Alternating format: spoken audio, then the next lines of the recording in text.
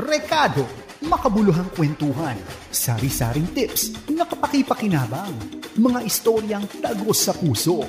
Rekado, tips at kwentuhang sangkap ay sakto. Rekado. Happy Saturday! Welcome to Recado! Ano bang pinag-uusapan natin ngayon na tinuro sa atin ng ating mga magulang?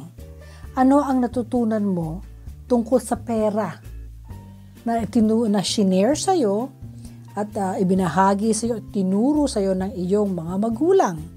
Money lessons from my parents. Being financially independent yan ang pag-uusapan natin ngayon dito po sa Recado. Ako po si Chiki Holman Yulo. Join us every Saturday, 4 o'clock to 5 o'clock dito po sa 702 DZAS Radio TV, Agapay ng Sambayanan. Tayo po ay kasapi ng KBP, kapisanan ng mga broadcaster ng Pilipinas, and listen to us via internet through febc.ph at sa Facebook Live dito po yan sa 702 DZAS FEBC Radio TV. Sa iba pong bahagi ng mundo dahil napapakinggan po tayo sa Pinoy Connection sa pamamagitan ng Pinoy Connection PH para sa atin mga kaibigang overseas Filipino workers. Nehoma, nehoma sing uh, Chiki Holman Yulo. Benvenuti a Riccardo, mi dispiace, non capisco ristorante. Um, me llamo Chiki Holman Yulo. Buenas tardes a todos. O naghalo-halo na ang languages ko nun. Yale, yale, marhaba. Elhamdulillah, saleme. Kifik, shufi mafi, tisbal khir, sabal khir. Sa ibang bahagi ng mundo, mapapakinggan nyo tayo. Dito po sa Pinoy Connection PH. Sa atin mga overseas Filipino workers, kamusta na po kayo? YouTube channel 702 DZASFEBC Radio TV. You may also watch the past episodes of Recuerdo at Recado. Nung linggo pa tayo ah, dito po sa YouTube. Make sure you give us a thumbs up and press that subscribe button. Yung like-like. Okay. Wow, wow, love, love, and share, share. A blessed and wonderful Karekado Day. Last Saturday, nako, ang bilis, you know, ang bilis ng araw kasi sabi ko last Saturday, abe eh, ngayon eh huling last Saturday ng buwan ng ma ng uh, ng uh, hu, ng Hunyo. Ang bilis ng araw, no? Let's stay positive and hopeful sa panahong ito. Alam po nyo, sa loob ng isang oras, tayo po ay uh, magkakasama-samang muli. Sana kahit sa maiksing oras na ito, marami kayong matututunan. Kasi our topic is very close, especially to my heart, because excited ako to share this with you And of course, excited din akong matuto sa mga isi-share nyo sa atin. Mula sa mga lessons natin sa mga nanay at tatay natin sa pagdating ng pagmamanage ng pera. Sa panahon ngayon, nakaliwat kanan ang mga sale. Naku, pag add to cart, yan ako, yung add to cart na yan. Pag mine, sa ang mga nagagastusang bilihin sa online shops. Mahalaga pa rin ang matutunan natin yung paano tayo pagsisilop natin sa pera. Kasi tandaan mo, ang pera hindi hindi po yan tumutubo sa punong kahoy na pwede mong pitasin na dahon. Hindi ganon. I am a financial planner and I have been uh, a wealth management and financial management uh, manager coach dito po sa ProLife UK for the past what 16 oh gosh 16 17 years at uh, isa po yan sa talagang napaka napakalapit sa aking puso kasi sabi ko nga po, had I known then what I know now, kung paano mag-save ng pera, ay di mas marami akong nagawa. Kasi noon, akala mo walang katapusan ng pera. Going, going lang. Ay, may katapusan pala. Alam mo, may secret ako. Lapit ka ng konti para marinig mo. Alam mo ba na mas madaling dumating ang pera sa kamay mo mas mabilis maubos. Totoo yan, sabi ng papa ko yan. Kaya dapat matuto ka na mag-save, matuto ka mag-invest, matuto ka magsilop at hindi mo bilin kung anong gusto mo lang makita.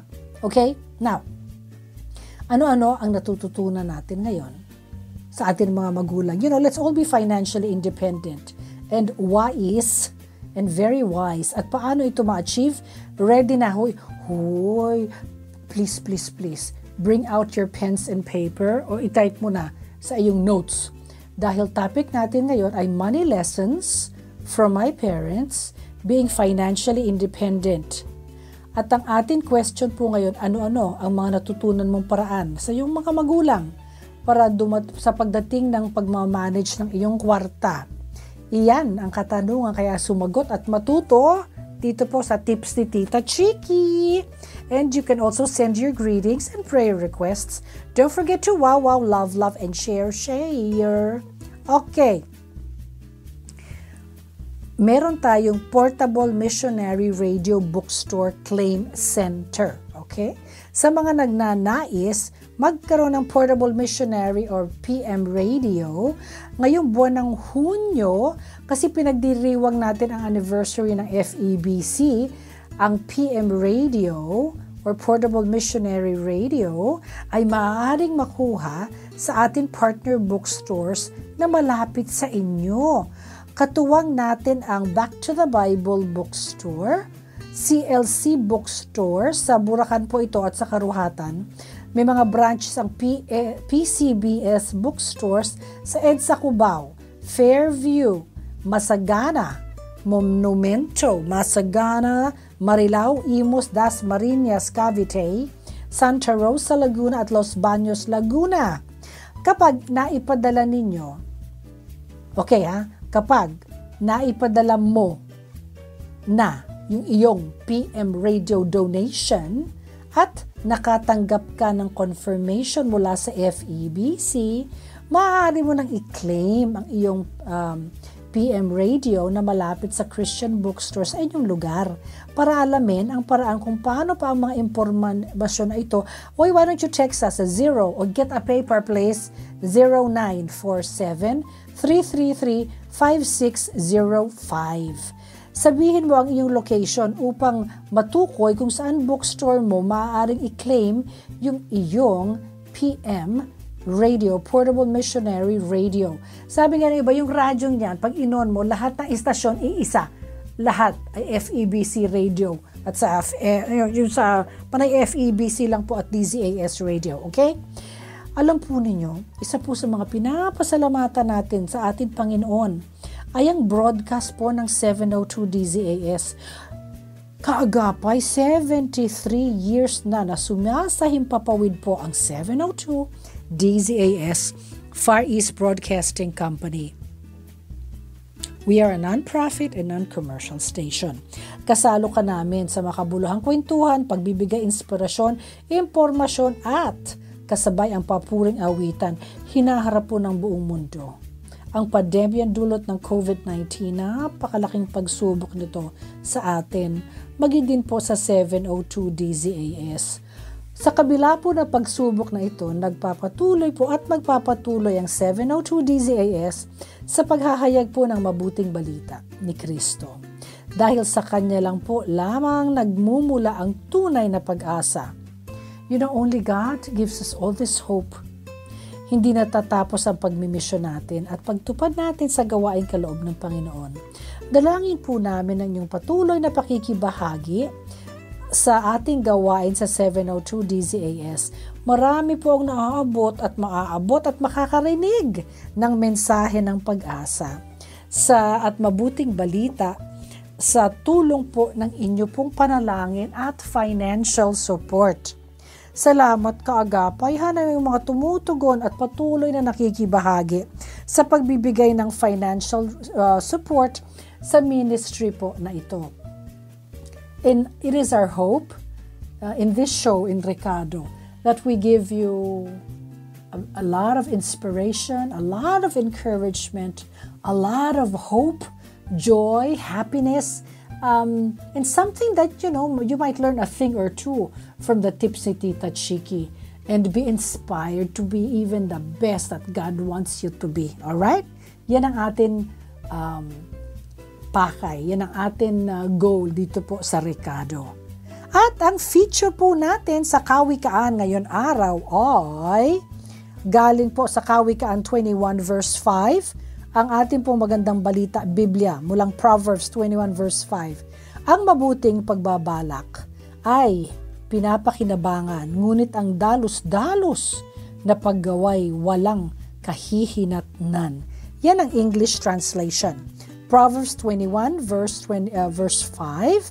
Galing po sa New International Version, the plans of a diligent of the diligent lead to profit, as surely as haste leads to poverty. Proverbs 21 verse 5. Dapat laging ipinaplano eh. Uh, you have to have disciplined um, regular savings. Kasi pag pinagmamadali yan, wala. It leads to poverty. Alright? Ngayon naman po sa atin birthday trivia. Happy, happy birthday! Happy birthday to you! Ang kapatid ko si Mimi Holman, happy, happy birthday to you, Mimi. Uh, matanda ka na rin. Tumatawa ako, matanda ka na rin. June 27, happy birthday, Mimi. June 26, 1910, ipinanganak si Colonel Tom Parker sa Breda, Holland. Siya yung naging manager at sikat na artist na si Elvis Presley. Uy, nako. Siya ang naging manager ng sikat na artist na si Elvis Presley mulang 1955 hanggang 1977. Gosh, that's a long time na pagsasama ha. Um, that's so 22 years. June, happy birthday na now si June 26, 1943. Ipinanganak sa Lancashire, Lancashire England si Georgie Fame o si Clive Powell. At totoong pangalan niya, siya ay keyboard player ng Van Morrison at kalauna naging solo artist. Siya ang nag-iisang British star na nakascore po ng three number one hits with his only top 10 chart entries. Grabe ah. June 27, uh, 26, 1955, ipinanganak po sa England si Mick Jones Gitarista po siya sa grupong Clash. Sumulat rin siya ng isang awitin para sa grupong ito. Kalaunan, siya ay naging lead singer ng Big Audio Dynamite 2. Big Audio Dynamite 2. June 26, 1955, ipinanganak sa Oakland, uh, California si Steph Burns. Siya ay gitarista ng Huey Lewis. Uh, nung, uh, oh, this group is wonderful. At the news, sa edad na anim na taon, nagsimula na niyang tugtugin yung gitara niya ng kanyang father. At, you know, pag, nung nag 7 years old siya, nagkaroon na siya ng kanyang electric guitar. You know, you start them young. June 26, 1969, ipinanganak naman sa Onfordshire, England, si Colin Greenwood. Bahi, basis siya ng Radiohead kasama ang kanyang nakakatandang kapatid na bandmate na si Johnny Greenwood. Happy birthday! June 26, 1969.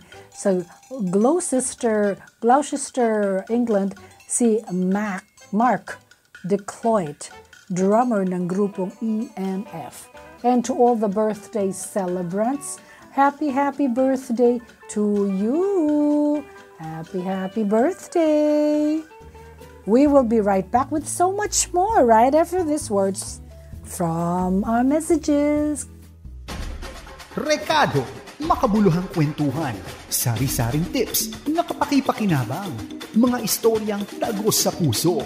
Rekado, tips at kwentuhang sangkap ay sakto. Rekado. Rekado. Scary Super Spreader Activity Alert.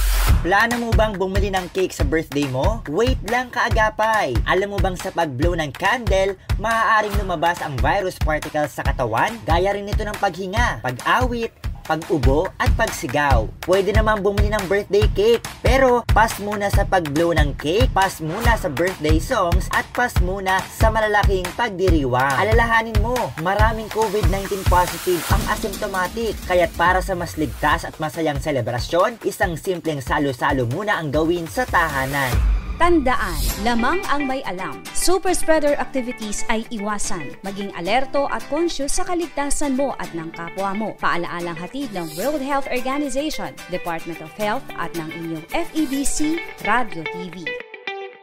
Dito ang 702 DZAS. 702 DZAS. Agapay ng Sambayanan. Kasapi sa KBP, kapisanan ng mga broadcaster ng Pilipinas. Rekado, makabuluhang kwentuhan, sari-saring tips na mga istoryang tagos sa puso. Rekado, tips at kwentuhang sangkap ay sakto. Rekado. And we're back. Ako po si Chiki Holman Yulo and welcome back to Recado. Every Saturday, 4 o'clock to 5 o'clock, magkakasama tayo ha. Bago tayo dumako po sa ating topics, patiin natin muli ang ating listeners. Hello, Manolo Aquino. Talaga naman ang aming regular talagang uh, ano, listener at viewer si Manolo. Um, Manolo, happy happy Father's Day uli sa iyo ha.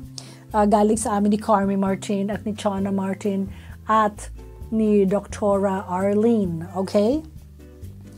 Hello to you. Buena fe! Aquino Rio Florido. Hello Miss Chiki and the Caricado family. Happy Father's Day sa mga haligi ng tahanan. Alam mo, pagpalain po kayo, ay naku, buena fe. Mula-mula na nagsimula, over 4 years ago, ah, na nag-start ako dito sa atin, ano sinasabi ko palagi? 3 months trial o apat na taon na. Okay. Joy Fajardo Villegas. A blessed afternoon, Miss Chiquita sa lahat ng tagapakinig sa inyong programs. Hi, Miss Joy. Kamusta na kayo? Please uh, greet the, the, the father, the uncle in your lives. Uh, na happy, happy Father's Day yung last week.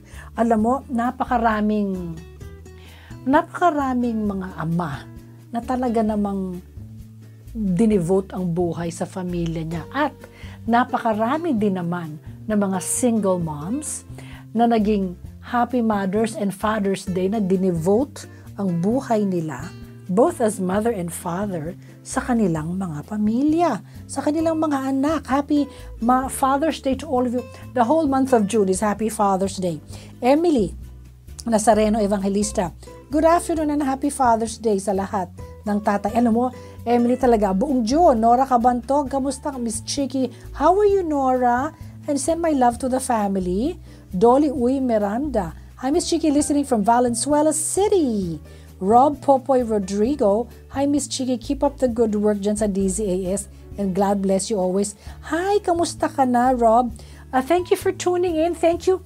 And if this is your first time here, to all the listeners, Welcome, welcome! Ako po si Chiki Holman Yulo. And if naiba yung shift schedule mo and you're back, welcome back. Si Eden Australia, hi Miss Chiki. Good afternoon, continue to be a blessing to many. And God bless you more and more. Ay nako, I accept that. Maraming salamat ha. Napaka, nakakataba naman ng puso. Si Emerita Faustino, kamusta Miss Chiki, listening here. Uy, next time sabihin mo kung saan gang parte ng mundo ha. Sabi ni Gaius Jason Garcia Sabado. A blessed Saturday afternoon, Miss Chiki at DZAS. Happy listening kay Babette Plaster. Hello, Mami Babette Plaster. Mama ng aking, uh, uy, ng kasama ko dito na si Miss Hannah Placer. Hi, Miss Hannah. Laging nakasuporta sa 702 DZAS FABC Radio. As for today, Miss Bab- Mami Babette Placer, kamusta na kayo? At kamusta na uh, every time na naalala ko, naalala ko yung pinakitang picture sa akin ni, ni Hannah Placer na picture ng Christmas tree ginawa mong may maliliit na yung mga stuffed toy na teddy bear. Beautiful. Siguro this year, ganun na gagawin ko kasi may apo na ako, ano, hindi na grown up masyado and sophisticated ang aking Christmas decor. Lagyan ko na ng ano, teddy bear. Ang gaganda, natuwa ako doon, Mama Babette Placer.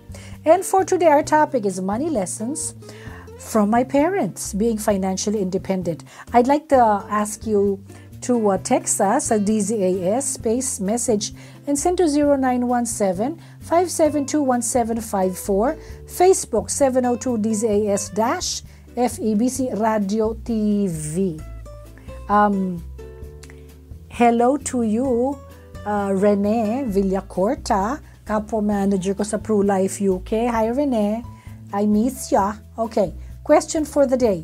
Ano-ano ang natutunan mong paraan sa pag iyong sa iyong mga magulang para sa pagdating ng pagma-manage ng pera. Okay, sabi ni Maika, Hi Maika, in-instill sa akin ng parents ko na kailangan parati akong may ipon at nagsisave every day. Kahit maliit na halaga lang, basta hindi nauubos yung pera ko ng isang bagsakan. Totoo nga. Maika, tinuruan din ako ng papa ko. Mas madali ang kamay. Mas madali dumaan sa kamay mo ang kwarta. Dari dumating. Hoy, mas madali din maubos. Okay. Diona, di ako masyadong gumagastos ng malaki na binibili ko. Meron lang akong allotted budget for the whole week. Yan talaga, gagamitin ko yan for the whole week. Sabi ni Gemma, bukod sa pagkocontrol ng paggastos, isa din way ko is magtipid sa kuryente. Yeah, Gemma, that's right.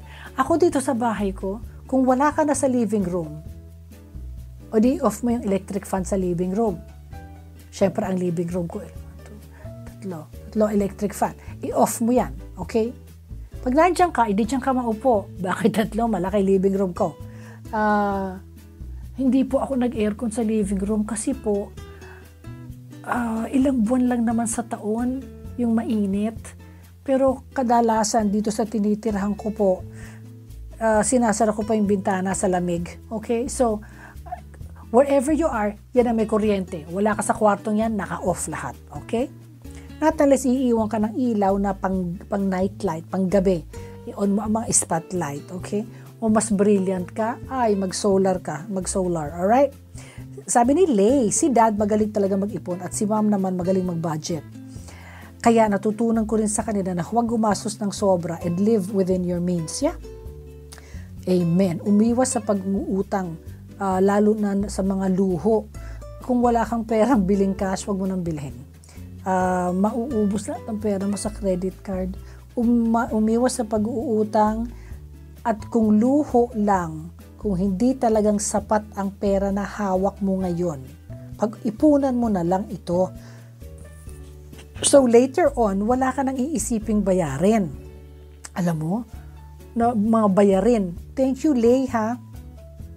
Kasi nauubos ng credit card yung lahat ng hindi naman, wala naman nangyayari sa binayad mo. Parang ganun lang. Marlin, don't spend too much on things na hindi pa talaga kailangan. Um, especially nowadays, meron ka na sigurong sampung chinelas. Ilang pa pang chinelas ang kailangan mo. Okay? Tama yan, Marlene. Jessica, budgeting, may planner ako kung saan ilalagay ko yung mga expenses ko para ma-monitor ko yung paglabas at pagpasok ng pera ko. Tama. Simple lang daw eh. Ano yung out, ano yung in. Yun lang. Ito na po ang atin pong, ano, kaya, bago tayo mag-tip si Tita Chiki, isa sa mga tinuro ng, ng mama ko sa akin ay maghanap buhay daw kami. Sabi niya sa akin, alam mo, pinanganak kayo na, na hindi naman tayo hirap sa buhay pero kung anong bilis ng tating ng pera sa'yo, ganoon ang bilis mawala. So gusto ko matuto kayong magkayod at matuto maghanap buhay, matuto magnegosyo. Uh, that's what my mom always told me. Learn, learn to, you know, learn to, to make money. Magtrabaho ka. Magtrabaho ka. Mas mahiya, ito sabi ng papa ko, mas mahiya ka pag wala kang hanap buhay, negosyo o trabaho. Yun ang kahiya-hiya. Gumawa ka ng paraan at palaging may paraan daw, sabi ng mama ko. So, sabi niya, kahit na ang napangasawa mo halimbawa in the future, sabi niya, may pera. Hindi lahat 24-7 may pera. So, kahit may pera ang pinang ang napangasawa mo, matuto ka maghanap buhay, huwag kang aasa sa asawa mo. That's the best tip I ever got. Kung may pera, o sige, extra yon Pero huwag kang umasa para pag may gusto kong bilhin, sabi niya noon, Chiki, pero kung gusto mong bilhin yan, na kunyari ang price eh 3,000, walang magre-reklamo at magsasabi sa'yo, bakit kailangan mong bilhin yan ng 3,000? Eh, chu, chu, chu, chu, chu, chu. Sabi ko, talaga mom, yeah. So if you want to purchase something for that amount, no one will question you. It's your money. So before you before you even purchase, think, do I really need this? Why do I have something that looks like this? Do I actually need it? Or I just want it? Mag-isip ka, sabi niya. Kung want, mag-isip ka, huwag mo na lang kunin. Alright? And ang papa ko talagang live within your means. Alright. Ngayon, sa atin pong tips part 1 ni Tita Chiki. pag-usapan natin ang tipid money tips to cut down on your expenses when living on your own sa Tips Part 1 ni Tita Chiki. Tips ni Tita Chiki. Tita Chiki, Chiki, Chiki. Ako po si Chiki Holman Yulo sa atin pong Tips Part 1 ni Tita Chiki. Save money while working on your independence kung ikaw ay bumukod na at mayabang ka at naku umalis ka sa puder ng iyong mga parents. Congratulations! Nasa next chapter ka na ng iyong adulting. Pero, gusto mong malaman kung paano? Alam mo, this is only the beginning. Ang next challenge mo naman ay kung paano mo i-manage lahat ng iyong finances and make smart decisions so you know where your money goes. Di ba ano, uh, Lex and Lowell Reyes, hi! Dennis and Gigi Edu, and also uh, hello to uh, Mary D and uh, General Dindo Espina, yung grupo namin sa Higher Ground na Bible Study Group pag Thursday. And the Montoyas, hi! Kamusta na kayo dyan? Okay, ang next challenge mo kung paano mo natin i-manage yan. Here are some lifestyle tips so that you can cut down uh, on your expenses while living alone. And nagmumula ito sa onelife.ph. Una, plan your meals. Meal planning is not as complicated as you think. Sa totoo lang, ha, hindi lang ito nakakatulong para makasave ng pera. Kung hindi, nakakasave pa rin ng time. Kapag meron kang meal plans, excuse me, lahat ng bilihin mong ingredients na whatever you need to purchase ay planned din. At hindi ka maghihirapan mag-isip kapag nag-grocery. Alam mo ako, ang ginagawa ko, even today, meron na ako palaging bawang sibuyas dyan at saka kamatis. Meron ako ng basic na potato, patatas. Eh, kasi yun kinakain ng pamilya ko, no? Uh, sabi siya, kinapaka-western na, oo, yun ang kinakain ng pamilya ko. Meron ako laging green beans, potatoes, carrots. Uh, ano pa ba? Yun. Minsan malagi ako may lettuce, no? lettuce for salads, uh, at saka pipino. Yun ang nandoon lang palagi. Pag gusto mo ng iba, eh, eh, iba ang plano. Pero yung basic, may ganun ako. Yung ang kaibigan ko, niluluto na nga niya, dalawang friends ko actually who told me, niluluto niya rin, uh, meron kang pakukul, gagawa ka ng sinigang, or gagawa ka ng boiled, uh, yung nilaga pakukulaan na nila yung ano, yung yung pork, yung beef. Tapos pakulo, tinatanggal nila yung yung, yung taba na tumataas sa ibabaw, tinatanggal nila yon. Tapos pinapakuluan. Tapos, hikip nila yon pakalamig nun, ikikip nila, para kung gusto mong magnilaga, magsinigang, o magano, ayun na yung basic. Bahala ka nang lagyan ko anong gusto mong gawin. And you know, it saves time also, and ma- yung planning mo. Okay, so, pangalawa, Learn how to cook. Cook your own ulam. Kung marunong ka magluto, it saves you money dahil uh, hindi mo kinakailangan bumili at umorder pa. Hindi ka kailangan magbayad ng delivery fees at overpriced meals anymore. At malaki ang effects nito o sa savings mo. Alam po ninyo, lagi akong gumagawa ng, meron na akong pang tuna sandwich. Ready na yon May sibuyas, may um, ano bang masarap mong tuna sandwich? Lagyan ko ng sibuyas, i-drain ko yung i-drain ko yung ano, yung tuna in can. Tapos mayroon akong sibuyas, may pickle relish, uh, asin paminta, nilagyan ko ng cucumber para may crunch. Uh, yun na, nag-isip ako, ano ba nilalagay ko? Minsan, pag gusto kong mala Indian, lalagyan ko ng konting curry. Okay. May pickle relish, yes. Uh, minsan, nilalagyan ko din ng ano, ano na nga ba yun?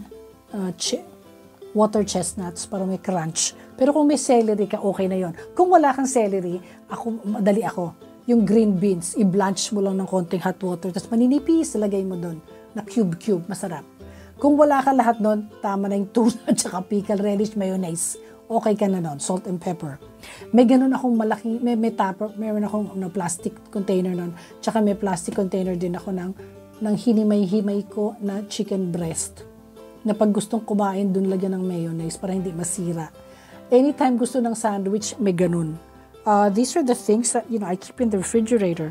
Learn how to cook. Pangatlo, cut unnecessary subscription. Mahilig kang manood ng movies o makinig sa online music, but hindi mo ibig sabihin na kailangan mo mag-subscribe o magbayad ng several streaming platforms all at once. Kunyari, free trial, tandaan mo yung araw ng free trial mo para pag hindi na free, stop. Okay? Itong maliit na gastusin ito, gaya nito, nag-accumulate yan. And that will break your wallet. Pang-apat, be energy efficient. Living alone can be exciting at mas marami kang freedom gawin ang gusto mo. But it also means that you must be disciplined enough pero makatipid ng pera at kuryente, schedule a certain number of hours every day o every week para maaari kang gumamit ng appliances na mataas ang konsumo. Like ako sa hapon, kunyari hapon mainit, mag 2 hours ka ng aircon, tapos. O yung shower heater, pag matuto sa gabi ba, oh, kung gusto mong warm, warm shower, yeah. Uh, usually an hour before I sleep, siguro mag-aircon ako, tas stop. Electric pa na. Yes, kuripot po ako, okay? Tumitili ako pag naka-aircon yung mga anak ko nun.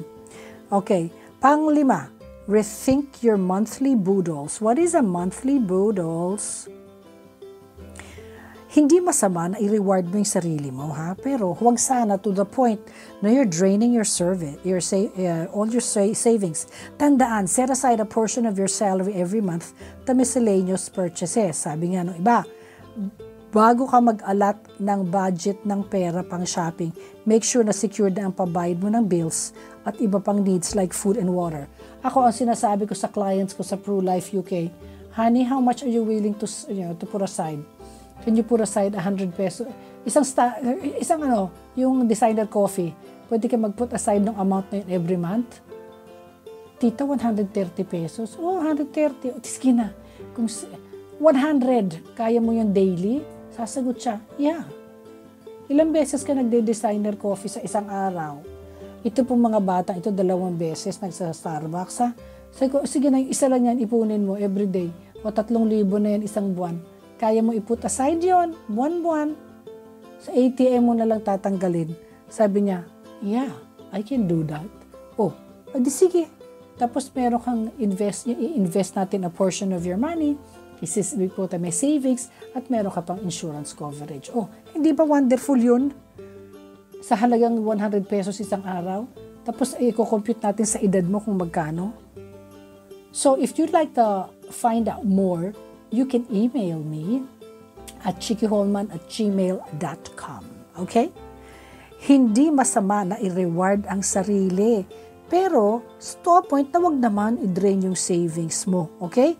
Panghuli, live within your means. The most important tip to remember is uh, live within your means. Bago ka bumili, kahit anong bagay na hindi mo afford, maging disiplinado ka sa lahat ng pagbabudget at maging sa pag-stick sa budget nito. Pag meron ka ng mga 30 hikaw,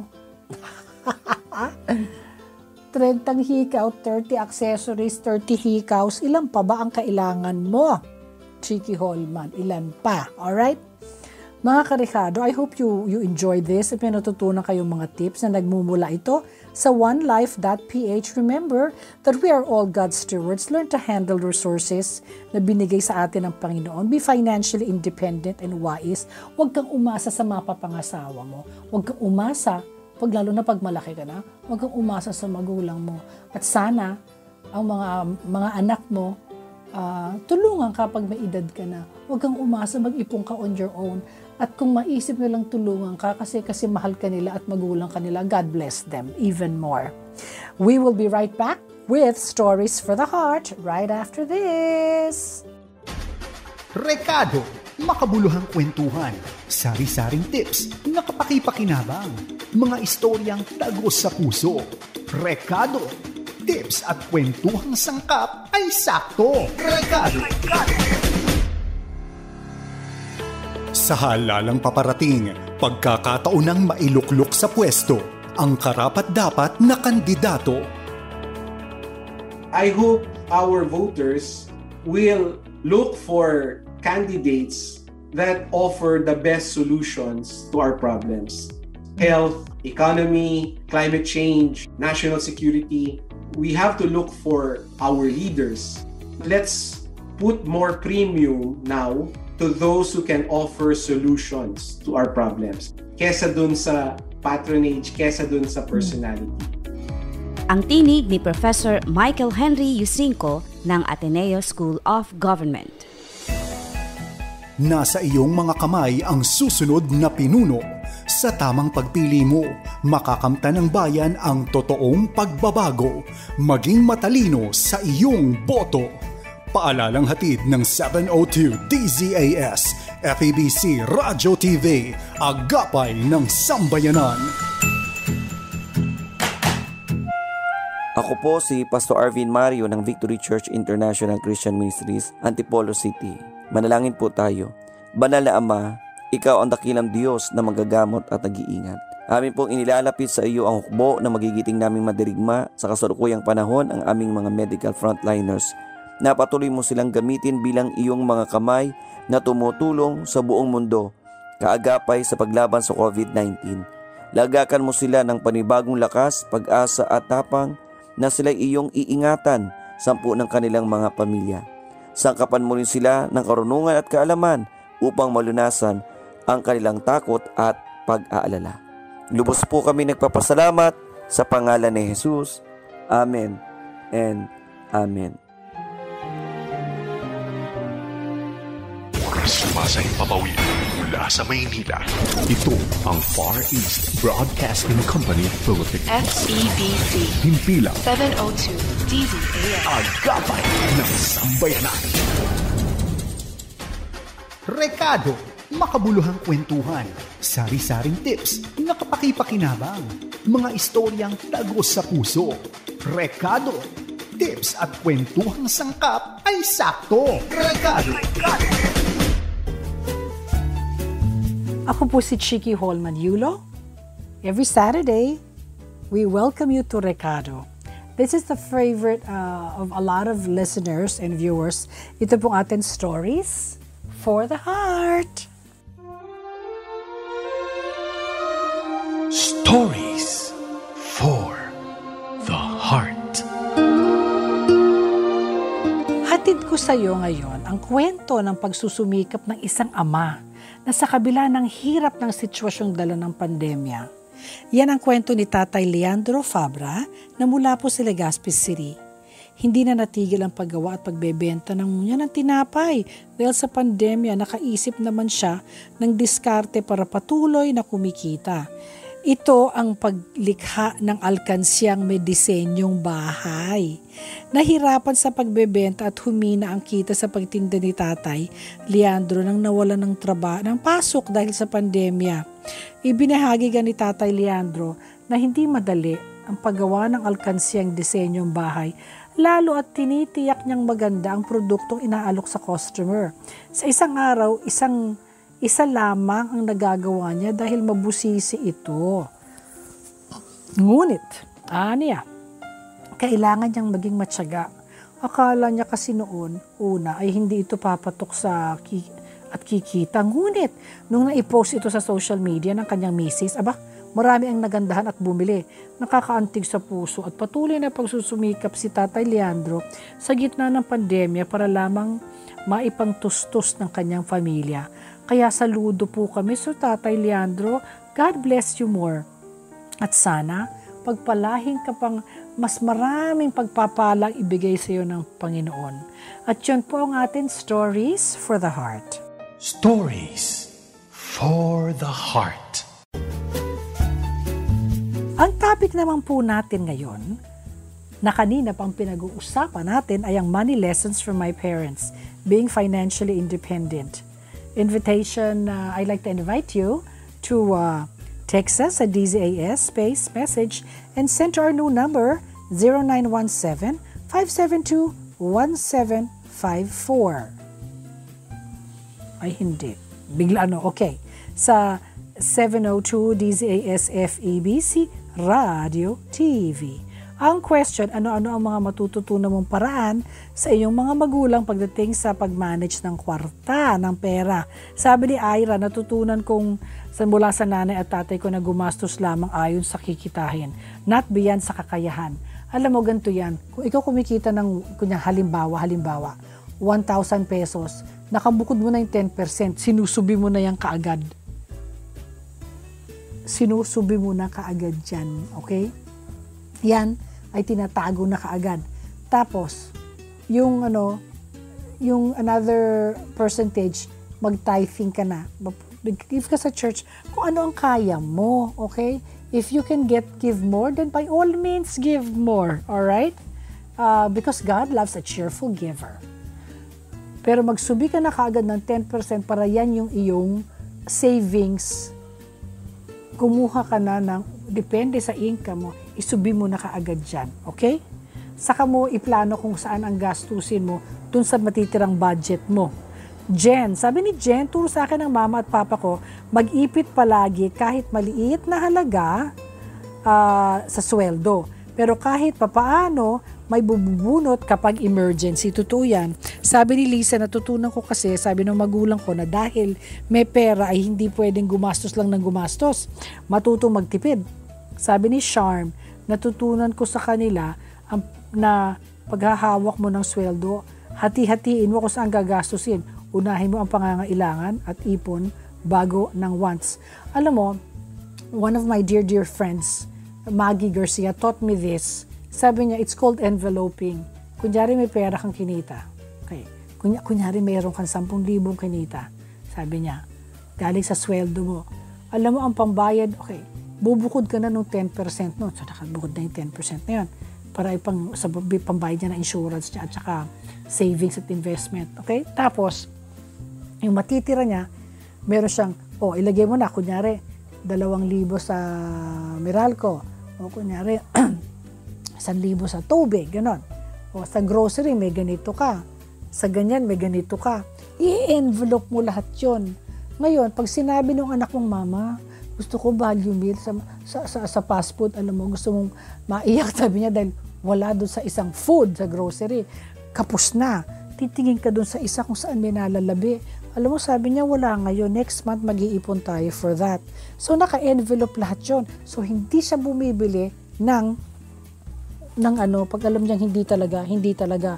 At dun siya nakaahon at dun siya nakaipon so much more na now, uh, she's one of my ano, um, very disciplined client sa Pro Life UK na talagang disiplinado ang savings ha.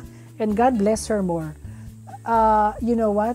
Ganun ang gawin mo. Alright? Sabi ni, so sabi ngayon ni John Lopez, hi John, from Daman, Kingdom of Saudi Arabia. Marhaba, marhaba John.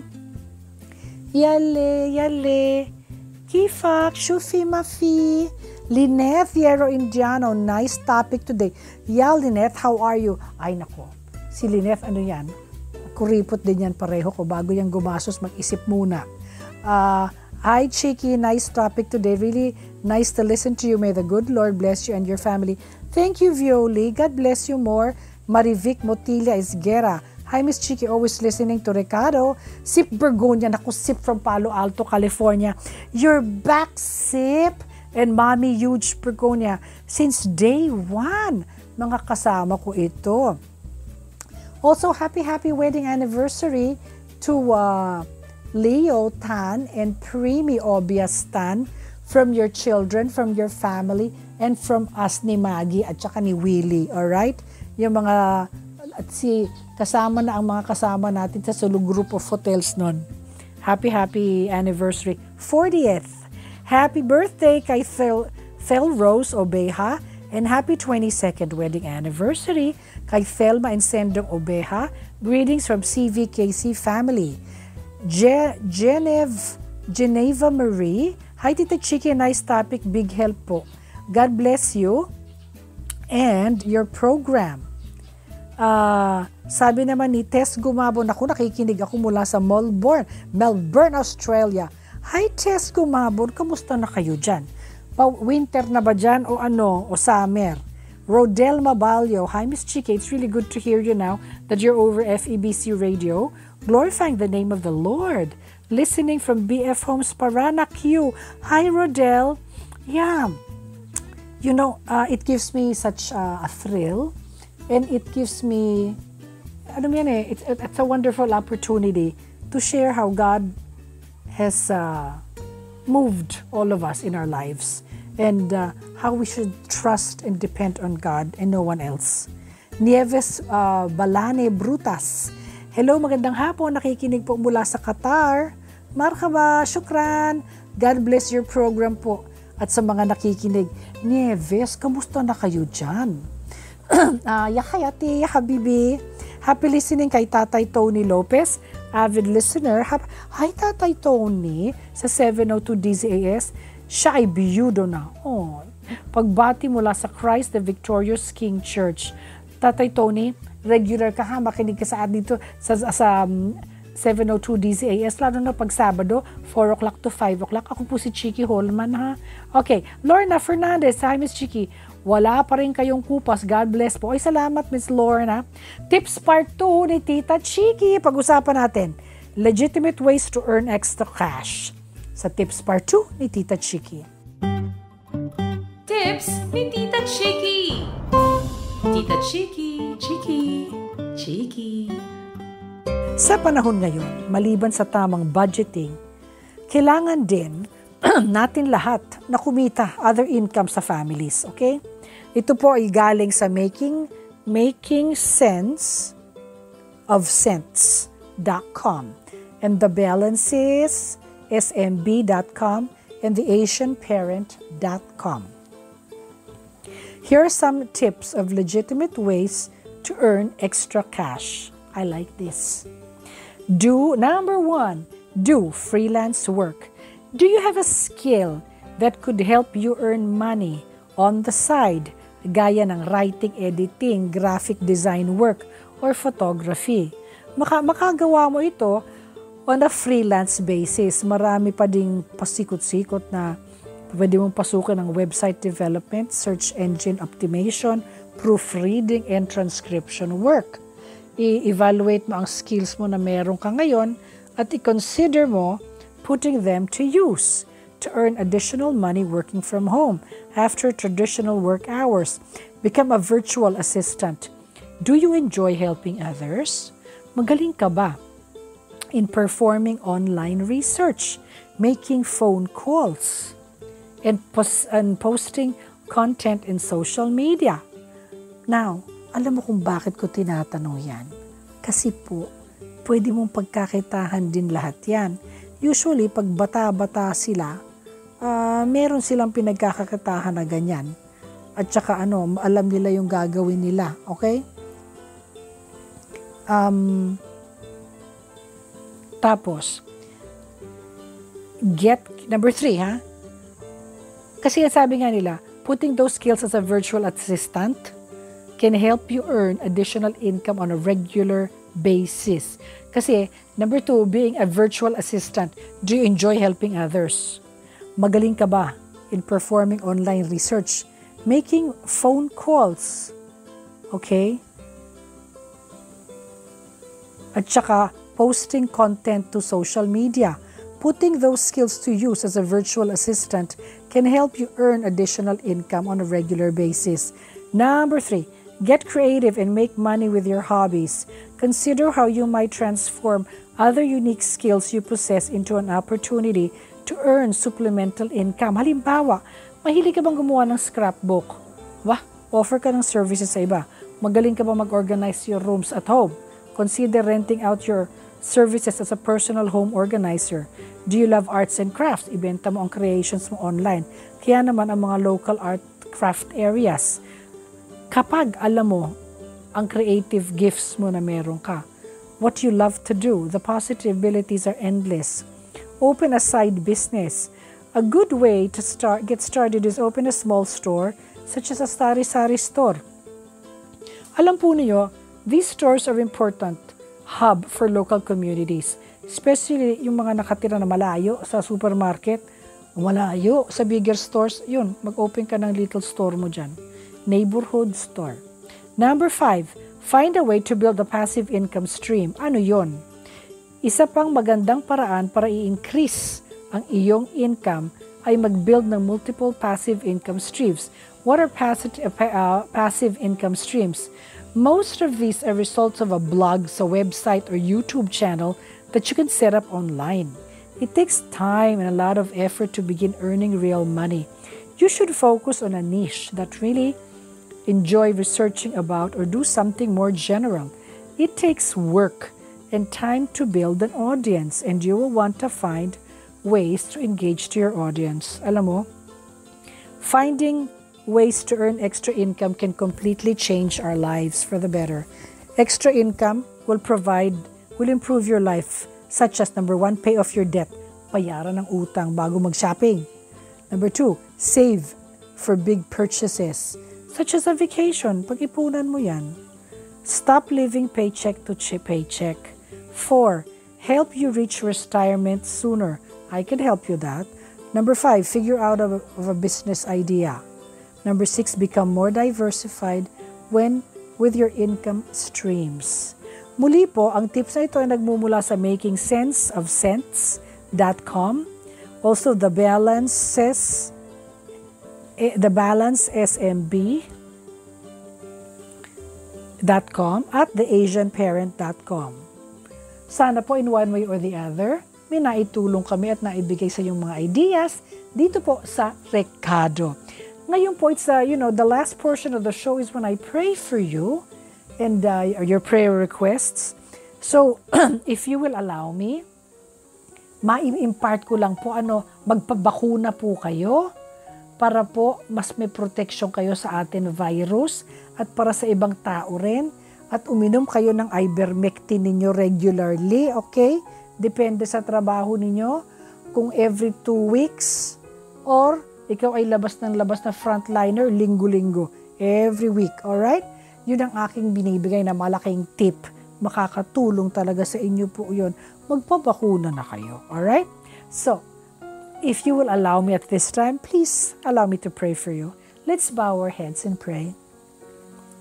Our dear Heavenly Father, we praise you and glorify your name, God. Thank you for another day and the gift of life. Thank you for this new day every day.